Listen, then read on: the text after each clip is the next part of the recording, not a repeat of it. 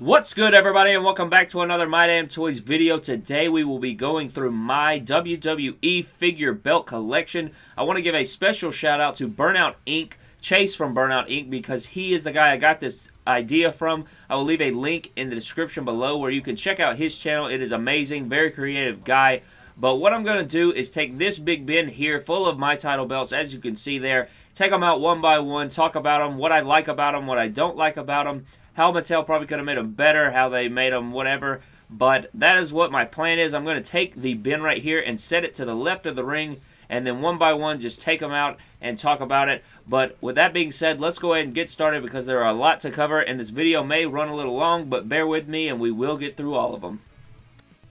Alright guys, I had to change camera angles there, that way you can see the belts better, but the first belt we have right here is the WWE World Heavyweight Championship. I've always been a huge fan of this design. I really want a replica of this belt. I've just always loved it. Um, I think it's very classic, very nostalgic, and I wish they would have brought this title back instead of the Universal title because I think the Universal title is just blah. But anyways, the next title up we have right here is the WWE Championship from the Ruthless Aggression era from about 2002 to 2004. Uh, I think that Brock, JBL, and Eddie Guerrero all look great with this title belt. I think that Mattel made this one a little bit too big. This is the one that came with the WrestleMania Brock Lesnar. And I think it may be a bit big, but I do enjoy the title, and I'm glad I have one of these in my collection. Now that I think about it, I think that they have a different version of that but up next, we have this Rated R Spinner Championship that came with the ringside exclusive Edge figure, and I really dig this belt a lot. I only have one of these. I wish they would have added some details, you know, some silver and stuff like that. But this middle part does spin, so that's really awesome to have. But yeah, moving on to the next figure belt, we have the regular WWE Championship, the spinner belt, as everyone calls it. I think that everyone hates this belt except me. I absolutely love it. I actually have an adult-sized real replica of this belt, and I've always been a big fan of it. But the next title we have here is another World Heavyweight Championship title. I think you guys are going to be sick of that title by the end of this video. But moving on next, we have one half of the MDT Tag Team Championships. This one is exclusive to Vindication, as you can see on the side plates there. But it is made out of the ECW Championship, and I actually like this title design a lot, even though it's not the best painted-wise. And another World Heavyweight Championship right there. I know you guys are already sick of that one. But right here we have a WWE Championship from 2013. I actually enjoy this design a lot. I wish that the part right here behind the W was actually white instead of black. I saw a Photoshop uh, version of that and it looked really, really nice. But moving on, we have the current day WWE Championship and I think that this title is really classic, even though it's the updated new one. It's very modern and classic at the same time, very neat, and it just explains what WWE is all about. And next here we have another World Heavyweight Championship, and then the next title belt that we have up is another World Heavyweight Championship, and then the next belt we have up right here is the MDT Extreme Championship, which I do love the title design of. It is the United States Championship as the base.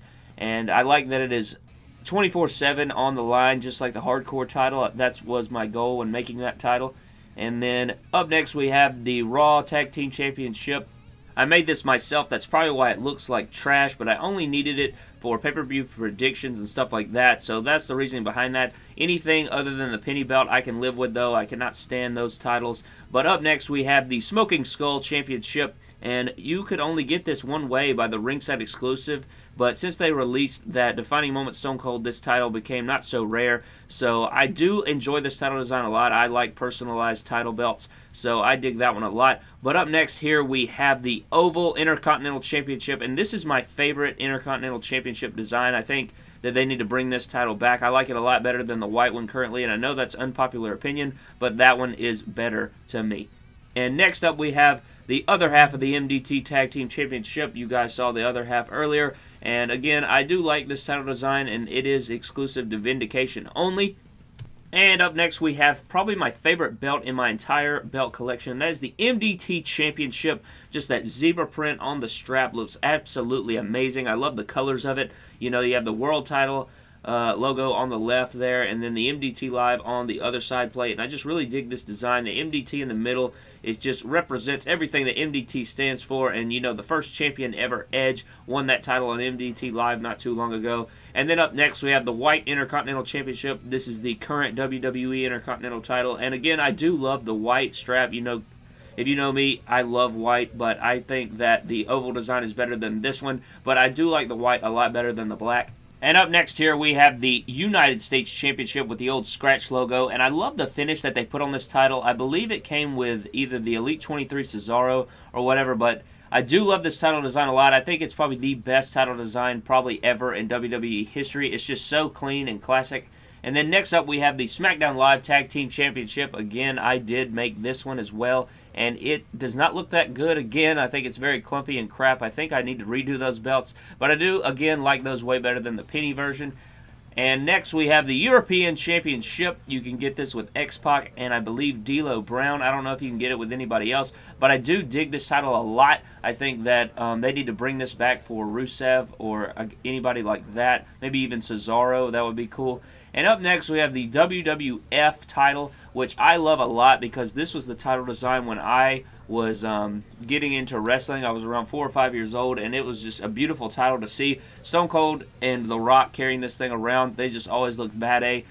And up next, we have the NXT Championship. I actually like this title design a lot. You know, they just recently changed it, but I dig the wide strap and the big NXT logo in the middle. Very unique title design, but I am glad that they finally changed it. You know, I think that five years is a long time to have a title design, so changing it was the right move. And there we have another European Championship I don't remember how many of those that I have, but here we have another WWE Spinner Championship. They've made a lot of versions of that belt now that I think about it, you know, the different shine. And here's the other half of the Raw Tag Team Championship there. Again, trash, custom job there. But um, moving on anyways, we have the other half of the SmackDown Live Tag Team Championship. And again, another trash custom belt made by yours truly. I need to redo those, Jesus Christ. But another oval Intercontinental title belt as you see here. Again, I just really love this title design. I wish they would bring it back. It really needs to be brought back I think that a lot of people would look really nice with that title. And another World Heavyweight Championship again there. And moving on to the next title belt, we have the WWE Championship. This is the first mold that we got for this title. And I got to say that this is absolute trash. I hate the way they did it. They have no, like, plates on it. It's just, you know, one molded piece and then painted over. And I just think that this is very cheap of Mattel. And I just, this is probably one of my least favorite belts they've ever made. And up next here we have the better version of that title belt, and this is the WWE Championship with the plates on it, and that just looks way better than that first version, but you know, it is trial and error. And up next we have the WWF Tag Team Championship. I actually do love this title design, even though they didn't put the two-tone color in it. You know, it's supposed to be silver and gold, as I will show you later on on the World Tag Team titles of MDT. But up next, we are moving on to the Cruiserweight Championship here, and I like this title a lot. I hate how small it is, but I guess it does need to be accurate for those small guys back in the day. But I did like when they introduced this championship back then in the Ruthless Aggression era, and I can't wait for the Mattel new version of the Cruiserweight Championship with TJP.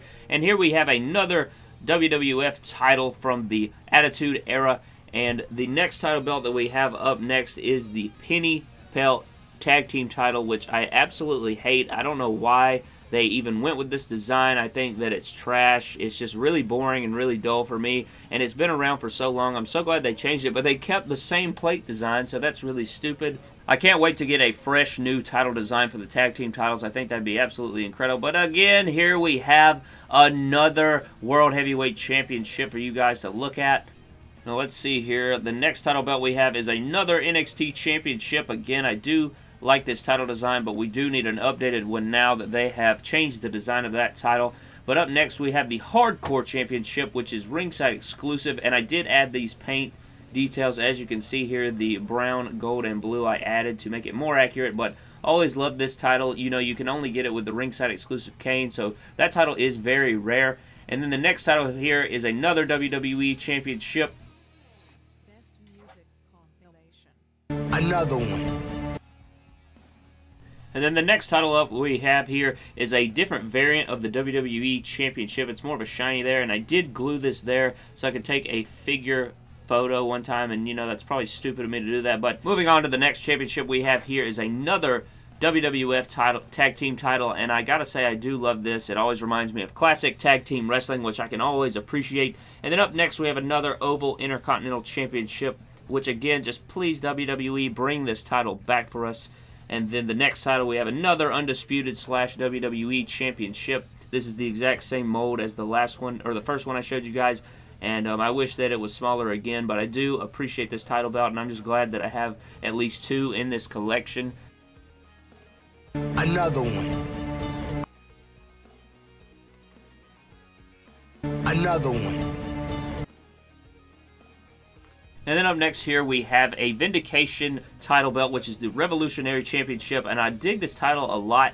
Um, it is the Winged Eagle title as the base, and I do like that fist logo in the middle, and I do dig the side plates a lot. I like that silver and gold um, dual colorway right there, and the yellow and blue really pop off of this title, so I do enjoy that title a lot. And then up next here we have another Oval Intercontinental Championship, again with a black strap. And then up next we have a new championship, and that is the Intercontinental Championship from the 90s with a black strap on it. And I gotta say that I do enjoy the white a lot better, but I do like seeing Stone Cold hold this championship. Um, I didn't witness it, obviously, but going back and looking at pictures and videos and stuff, he did look good with that title belt. But up next here we have another European Championship. So I guess I did have three of those instead of two. I thought I only had two of them. Another one. The next title belt we have right here is one of my favorites of all time, and that is this WWE United States Championship with the modern logo on there. And this title came with the Elite 51 Roman Reigns, and it just looks really, really clean and nice. The gold with the blue and red contrast looks absolutely amazing together. And the next title we have here is another variant of the WWE Championship. I don't even remember if we've seen this variant yet or not, but it is more of like a white gold color instead of the, you know, that yellowish gold color. And then next up, we have this Raw World Tag Team Championship. And this is my favorite version of the Raw tag titles, I think, that, you know, with the red in there. And then, you know, you had the SmackDown Tag Team Championships. This is very, very nice. I think they made it a little too small, in my opinion, but one of my favorite title designs of all time. And up next, we have another MDT Live Championship, and that is the U.S. Championship made out of the Zack Ryder Internet title, and it is a mix between the current U.S. title and the U.S. Spinner title. I think that this title is very, very clean. It's a little bit wacky, but I enjoy it. I designed it on 2K and decided to bring it to life. But the next title we have here is another United States Championship. You can never get old of that title. Another one. And the next title belt we have here is another WWF title from the Attitude Era. And the next title, again, we have another WWE Spinner Championship. Another one. Moving on to the next title belt, we have another U.S. Championship. Again, just never gets old of that title. I love the design of it. And then moving on, we have another Cruiserweight Championship. Again, very small title, but very, very nice to have to pose with your smaller figures. And the next title we have here is the Universal Championship. Of course, when this belt first was shown, I absolutely hated it. I thought it was so stupid. It has since grown on me. However, I think it was really dumb to copy the design of the WWE title. Another one. And then the next title we have here is the MDT Elite Championship made out of the current day WWE title. And I really like this design a lot. It's very modern and unique looking, but I dig this title a lot. That is the main prize over there on Vindication, even though MDT Live is always better. And next we have another WWF World Tag Team Championship. Another one. And up next, we have a slightly different version of the WWE Spinner title, and that is because I added these paint details. As you can see, I added the silver there with a silver Sharpie. I thought that was really cool. And the next title we have is another World Tag Team Championship. And it looks like up next we have the official Mattel SmackDown Live Tag Team Championship, which is a lot better than mine that I made. And I think they did a really good uh, job designing this title. I think the silver is really nice on that one. And again, we have another United States Championship. Another one. Another one. And up next, we have yet again another United States Championship with the scratch logo instead of the modern day logo. And then up next, we have sort of a variant of the big gold, and that is the dull plastic one that came with that Charlotte and Ric Flair battle pack. Not very high on the dull ones, but here we have another United States Championship. Those dull titles are just really, really blah to me. I don't think there's any point in even having them. But up next, we have this Winged Eagle Championship, and I gotta say, this is my least favorite design of the title in history of WWE. I just do not like this title design, which is a very unpopular opinion, but whatever, I guess that you can chew me out in the comment section below. And up next, we have the WWE Championship from 2013. Again, really like that title design a lot when The Rock introduced it. And then next we have the MDT World Tag Team titles, and I gotta say that this title is amazing. I love the design of it. Showstopper Custom Figs hooked this title up with the pink strap and the dual colored plates with the silver and gold and then um, just all the logos on there just look really really clean. Probably one of my favorite titles in my collection. And then next we have the dual version of the WWF tag title which again no point in even having those in your collection.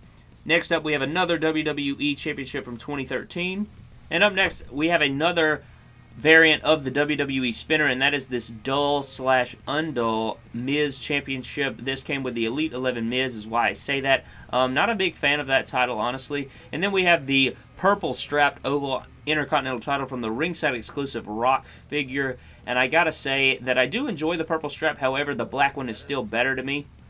And moving on, we have another Big Eagle Attitude Era Championship. Then again, we have another WWE Spinner Championship. And up next, we have a variant of the Winged Eagle, and it is the Ultimate Warrior Light Blue Strapped Winged Eagle Championship. And I gotta say, regardless of the title design that I hate, I love the strap color of this. I like this version a lot better than the black one. Another one. And up next, we have my favorite version of the SmackDown Tag Team Championships, and it is this one from the Ruthless Aggression era. This one and the Raw Tag Team Championship from that era is way better than the current ones, in my opinion. I think they're way more unique and creative, and they have their own design instead of just copy and paste and change the color. Then up next, we have the Intercontinental Oval Championship that we've seen before on this video, obviously. And then we have the Penny Belt, but is the variant, I believe it came with Kane. It's more of a reddish-orange color instead of just the plain penny color. And then we have the other dull Tag Team Championship, which is, again, a waste of plastic.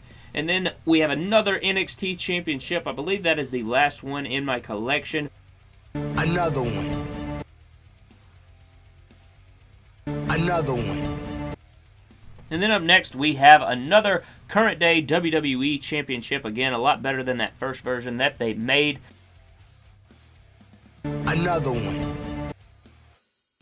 And then up next, we have again another Winged Eagle Championship. I believe I only have three or so of these. I definitely need more to pose with my older figures. And then, of course, we have another WWE Championship from 2013. And then up next, we have yet again another Oval Black Intercontinental Championship. And then up next, we have a title that I like the Jakks version way better. This is the Jakks version of the John Cena United States spinner belt, and I added the details with the flags and stars on the side plates as you see there. But I like this one a lot better because it is actually more in scale, and it does spin as you see. But I like this one a lot better. It's way more in scale. The one that Mattel made was way too small. And up next, we have the other half of the MDT World Tag Team Championship. Again, one of the cleanest belts in the world. And then we have another United States Championship. And then we have the worst belt WWE has ever made, and that is the Penny Tag Team Championship. Absolutely terrible design of a belt.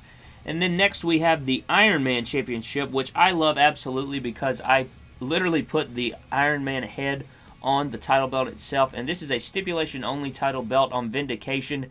And, you know, that means that it can only be defended in stipulation only matches. It won't be defended in just a regular singles match.